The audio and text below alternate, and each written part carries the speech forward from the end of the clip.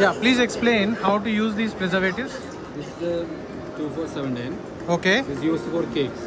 Cakes. Okay. Yeah, all type of cakes. Fruit cake, uh, muffins, plum cake, tea cake, sponge cake, Okay. all the cakes. Dosage is 20 gram. 20 gram per kg flour. Per kg flour, 20 gram. 20 gram. And uh, how long will it? Uh, I mean, how will it uh, amplify the shelf life? Depends upon the cakes. Okay. In, in fruit case, normally we get uh, 4 days or 3 days or 5 days.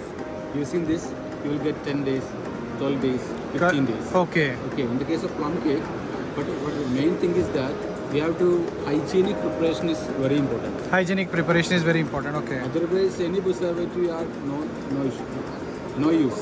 Okay. Okay. Similarly, what are the other ones that are there? This is an addictive. It's not a preservative. It's a vanilla powder.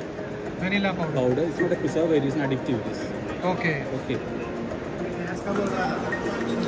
What are those bottles there? CSK uh, Life 500. Preservative liquid form is used in chapati.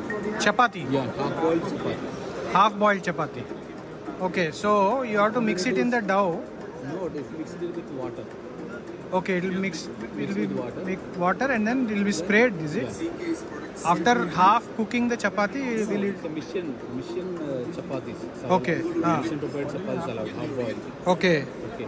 For industrial purpose. Okay. For industrial purpose. Industrial purpose. Okay. Thank you.